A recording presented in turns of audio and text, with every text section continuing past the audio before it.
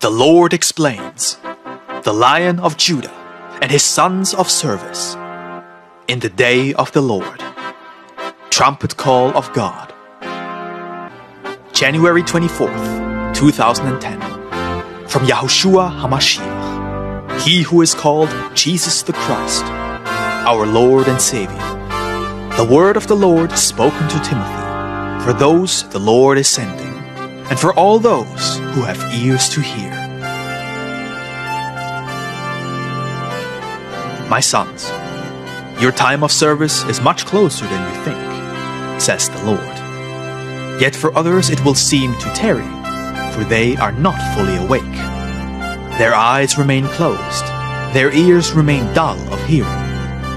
Yet for you it is coming quickly, for you have asked of me, and remain willing, having loved me above your seeking always to know me. Behold, you shall know me, for I am coming quickly, and in each of you shall I dwell fully. No more shall you beg, no more shall you plead, neither shall you stumble any more. Behold, in that day you shall surely sing, for the fire of my own spirit shall be established within you, and you shall burn bright. With the heat and brilliance of the noonday sun shall you shine for me, for I shall be revealed in you. And as I walked, so shall you walk. As I did, so shall you do likewise. And as I was persecuted, so shall you be hated. Fear not, for as no man prevented me, nor did one lay a hand upon me, nor were any able to take me by force, nor was any stone able to strike me down, until I gave myself up. So shall it be with you. For I am the Lord, and who can usurp my will? Who can change the times and seasons which I hold within the counsel of my own will? Behold, I have separated you from the world. And behold, I shall send you back into the world, even as I was sent into the world. And as I came from the Father and was sent, so also shall you be sent as one who comes from me. You are sent to shepherd those who are returning to me, and to warn those who are perishing, those who have departed from me.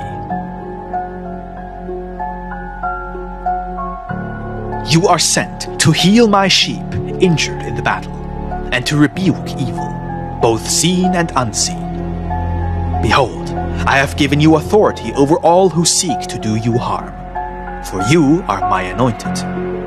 You shall also shepherd and bless the flock of the slaughter, for this is my will. Yet understand this as I was sent and suffered, so shall you be sent and suffer. Save this you are not sent as a sacrifice, for this is finished. It is accomplished.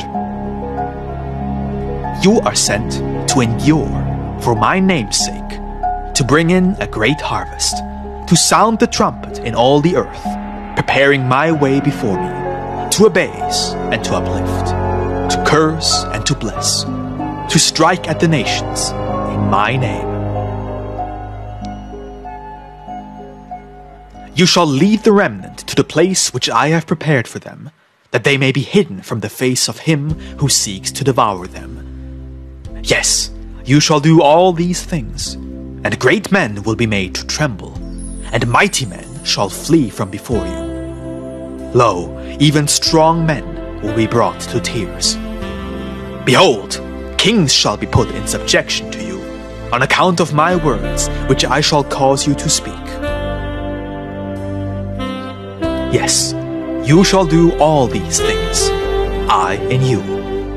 I shall accomplish them through you swiftly, and in my name shall they be done, causing my name to resound amongst my people.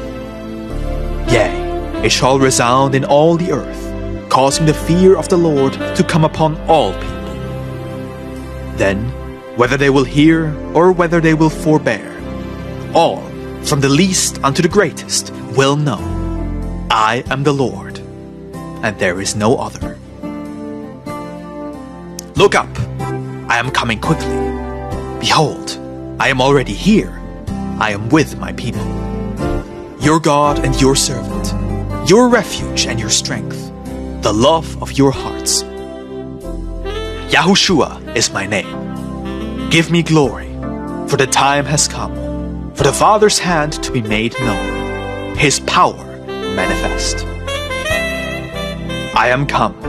The Lion of Judah has come forth out of his place, to judge and to punish, to refine and to uplift, to break apart and to build, to burn and to restore, to fulfill, to complete. For the day of the Lord has come. Behold, it is at the door. The great day is very near. And behold, the new day is coming quickly, when everlasting righteousness shall come in. When the rightful king shall reign, with you, the elect of my heart, entering into my joy and my rest. For I shall be your God, and you shall be my people. Days beyond number, life without end, everlasting praise